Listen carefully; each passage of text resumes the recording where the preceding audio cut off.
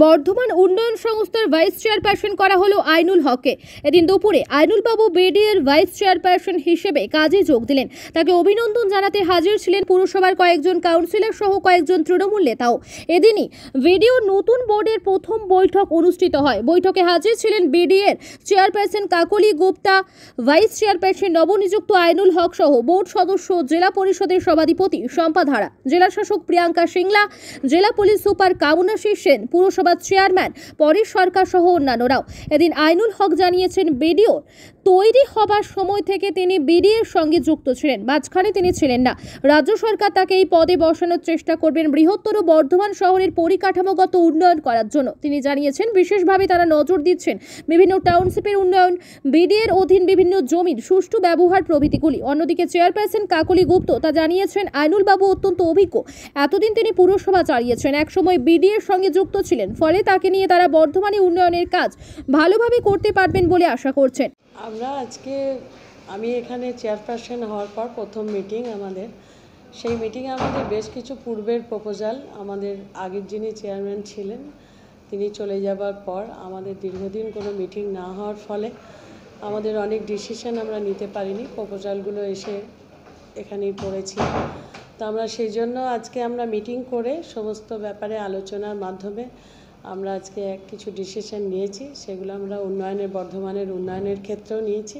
আমাদের বিডিএর কিছু এলাকা, বিশেষ করে টাউনশিপের ব্যাপারে, উপান্তিকা, রেনেসা, উল্লাস থেকে শুরু করে নানান জায়গায় আমাদের যে ল্যান্ডগুলো রয়েছে, সে ব্যাপারে কিছু আলোচনা, কিছু প্রজেক্টের ব্যাপারে আলোচনা, এগুলো নিয়ে আমরা কথা বলেছি। রেনেসাও তার মধ্যে রয়েছে।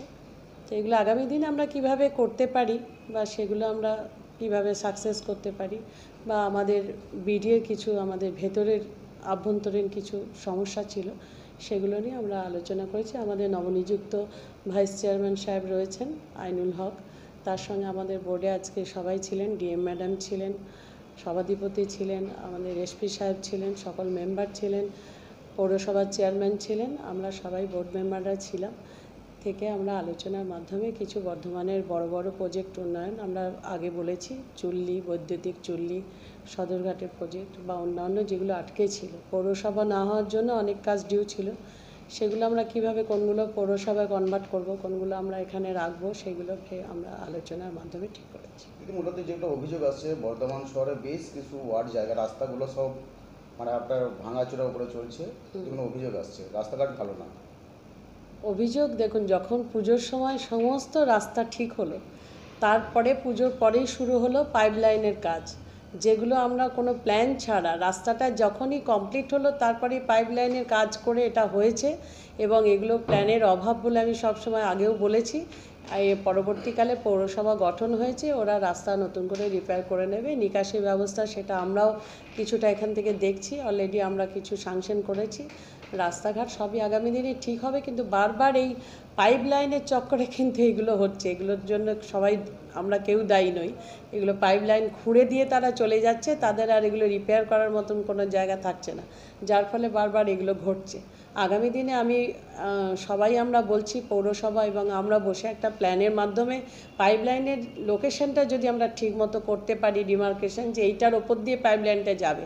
আমার হয়তো একটা সরু জায়গার মধ্যে দিয়ে পাইপ লাইন যাচ্ছে কিন্তু সেখানে চওড়া করে খাল করে দিয়ে তারা বাকিটা ওই মাটিটা ফেলে দিয়ে চলে যাচ্ছে বাকিটা তারা আর দেখছে না। এটা আমাদেরকে একটা বসে দাদা বর্ধমান ডেভেলপমেন্ট ভাইস প্রেসিডেন্ট হিসেবে আজকে নিযুক্ত হয়েছেন। তিনি কি বলবেন এবং কি কি কাজের গতি বাড়াবেন? এখন পরিষ্কার হচ্ছে যে আজকে আমার প্রথম দিন। আজকে আমার এটা একটা আমার পক্ষে সুযোগ হলো যে আজকেই বোর্ডের মিটিংটা ছিল। সুতরাং সেই বোর্ডের মিটিংয়ে যে অ্যাজেন্ডা সেগুলোকে নিয়ে বিস্তারিত আলোচনা হলো। বিডিএ এই সময় যে কাজগুলো করছে, সেই সম্পর্কে আমার একটা প্রাথমিক ধারণা আজকে আমার তৈরি হলো বর্ধমান ডেভেলপমেন্ট অথরিটি এর শুরু থেকে এর সঙ্গে আমি যুক্ত ছিলাম। কিন্তু দীর্ঘদিন তো বর্ধমান ডেভেলপমেন্ট অথরিটিতে আমি কাজ করিনি।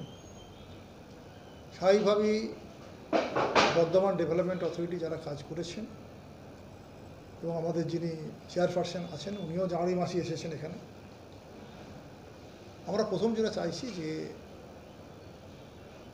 বিডিএর তার যদি লক্ষ্য পূরণ করতে হয়, তাহলে আমাদের যে সমস্ত পেন্ডিং কাজগুলো আছে, সেই পেন্ডিং কাজগুলোকে আমরা কত দ্রুত আমরা শেষ করতে পারি।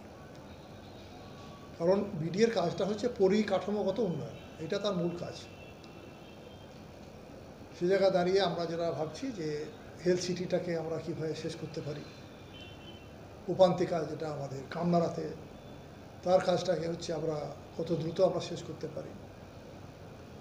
দশ একরের বেশি জায়গা আমাদের পড়ে আছে আলিশা মৌজায়, যেটা আমাদের আইটি হাব হওয়ার কথা ছিল।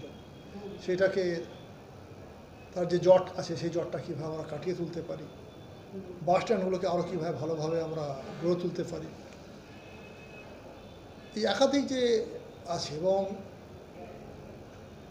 আমাদের রেনেসা আমাদের যারা প্রাইভেট পার্টনার আছে, সেই প্রাইভেট পার্টনারদের সঙ্গে আমাদের যে সমস্ত এগ্রিমেন্ট আছে, চুক্তি আছে, সেগুলোকে আমার দেখা, সেই কাজগুলোকে দ্রুত শেষ করা।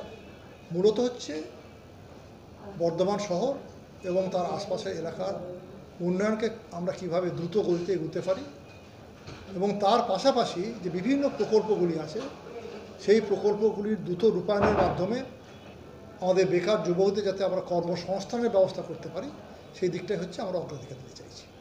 দাদা মূলত যেটা বারবার ব্যবসা দ্বারা বর্তমান শহরে অভিযোগ করছে যে শহরে যানজট মুক্ত হচ্ছে না এবং বাস চলাচল না হলে আমাদের ব্যবসা বাণিজ্য আমাদের ঠিকঠাক হচ্ছে না। বাস চলাচল নিয়ে কি ভাবছেন? আমি এই মুহূর্তে এই নিয়ে আমি কোনো মন্তব্য করছি না। আগে গোটা বিষয়টা আমরা দেখি। দেখার পর আমরা নিজেদের মধ্যে আলোচনা করব। বিডিএ আছে পৌরসভা আছে জেলা প্রশাসন আছে পুলিশ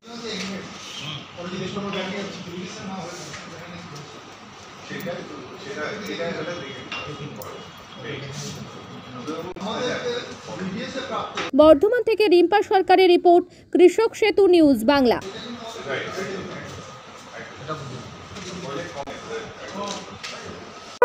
উৎসবপ্রিয় বাঙালির শ্রেষ্ঠ উৎসব দুর্গাপুজো। পুজো মানে পেট পুজো। আর বাঙালির পেট পুজো মানেই আমিষ হোক বা নিরামিষ যে কোনো পদের সাথেই চাই ধোয়া ওঠা, গরম ভাত। আর সেই ভাত যদি হয় বাসন্তী গোল্ড চালের, তাহলে তো কোনো কথাই নেই। বাসন্তী গোল্ড, নামেও শোনা, রূপেও শোনা। সুস্বাদু, ঝরঝরে ভাত খেতে বাড়িতে আনুন বাসন্তী গোল্ডের মিনিকেট টেন টেন কারিশমা, বাঁশকাঠি এবং রত্না সহ বিভিন্ন ধরনের উন্নত মানের চাল। আমাদের ঠিকানা মা বাসন্তী রাইস মিল, মিরপুর, উচালন, পূর্ব বর্ধমান। আমাদের যোগাযোগ নম্বর six two nine six four zero six four seven zero আমাদের আরও একটি যোগাযোগ নম্বর nine four seven five seven four zero five zero nine মনে রাখবেন, মা বাসন্তী রাইস মিল।